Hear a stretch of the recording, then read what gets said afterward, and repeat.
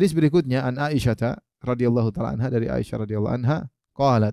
Beliau berkata qala Rasulullah sallallahu alaihi wasallam sallallahu alaihi bersabda alladzi yaqra'ul Qur'an wa huwa mahirun bihi ma'as safaratil kiramil bararah.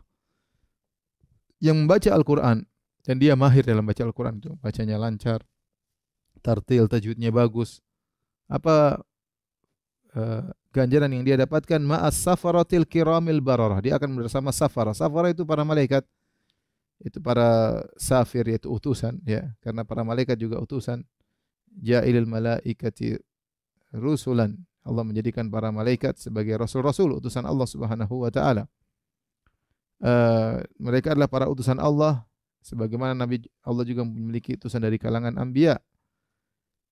Yang para rasul dari kalangan malaikat tersebut al-kiram. Mereka malaikat-malaikat yang mulia. Al-bararah malaikat-malaikat yang baik. Ini bagi orang yang uh, membaca Al-Quran dengan baik. Kemudian kata Nabi sallallahu alaihi wasallam, "Walladzi yaqra'ul Qur'an wa huwa yatata'ta'u, yatata'ta'u bi fihi wa syakun alaihi lahu ajran." Dan barang siapa yang baca Al-Qur'an sementara dia dalam kondisi uh, yatata'ta sulit baginya untuk baca Al-Qur'an, wa huwa syakun berat baginya, maka dia mendapatkan dua pahala. Dia mendapatkan dua pahala. Pahala apa? Pahala pertama pahala baca Al-Quran, ya, karena setiap huruf dibaca dapat pahala. Yang kedua, pahala dia berusaha belajar Al-Quran dengan berat.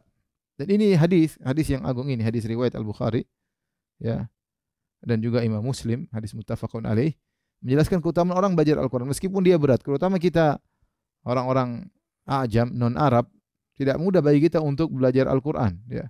Dan kita tidak bisa baca dengan lancar secara cepat, ya. Bahkan orang sudah bertahun-tahun baca Quran terkadang dia belum bisa lancar, butuh perjuangan. Selama dia berjuang tersebut, maka dia dapat pahala selain pahala baca dapat pahala bacaan ayat Al-Qur'an dapat juga pahala dari perjuangan dia untuk bisa melancarkan lisannya. Nah, apakah orang yang kedua lebih baik daripada yang pertama? Nabi yang mengatakan yang pertama al-mahir bil Quran ma'as safaratil kiramil bararah. Orang yang mahir baca Al-Qur'an maka bersama para malaikat-malaikat yang mulia dan baik. Yang kedua dapat dua pahala. Para ulama mengatakan tidak yang tentu yang pertama pahalanya lebih besar.